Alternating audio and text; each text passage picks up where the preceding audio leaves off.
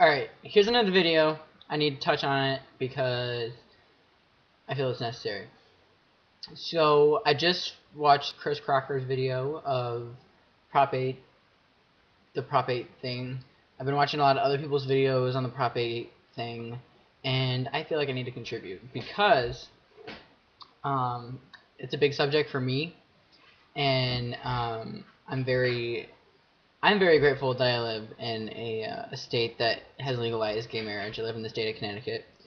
Um, so, you know, I, along with, you know, like the other surrounding states around me, um, it's, you know, it shows that people in all different parts of the country are starting to accept who others are for who they are and what they are.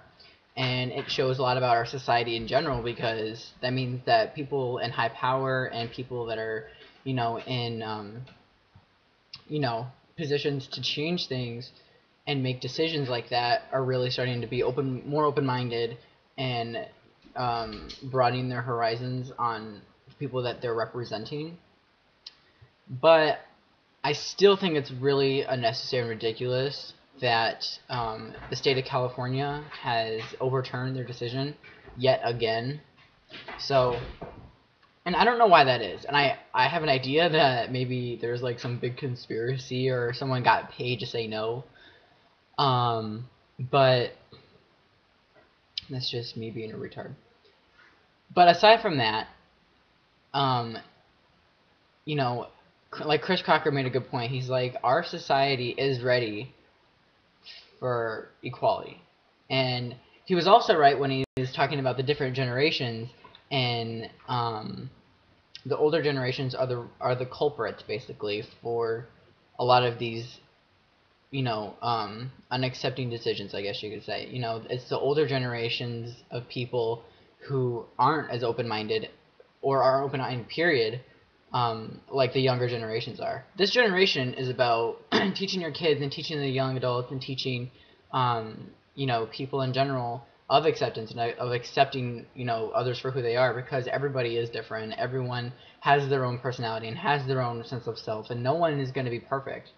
And um you know the whole the whole thing on you know separation of church and state and blah blah blah. Well most of the decisions that's made in this in this country today is based off of some religious aspect you know um it's it's it's getting ridiculous.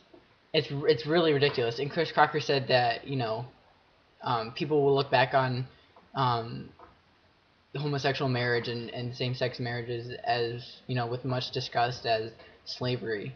And whoever said that to, to, to spark that was is just so mentally ill that you would say that.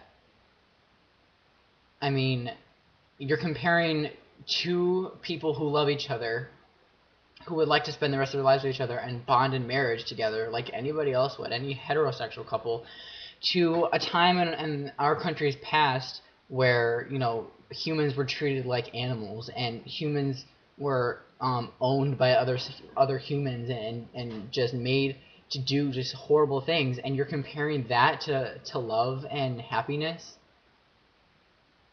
I mean, that's like comparing, you know, me taking my happy dog for a walk down the street with my best friend compared to the Holocaust. It doesn't make sense to me. It's it's completely and and utterly just disgusting. It's, it's really just disgusting to me. so they're wrong. This country will will come around eventually and it's on its way right now. It's it's already in the works. The revolution and and you know everything to evolve is now. It's happening. It's it's happened. You know, and at some points or another. I mean, it's hap it's happened in the state of Connecticut. It's happened in the state of New York and and and wherever else it's legal to get to for same-sex couples to get married.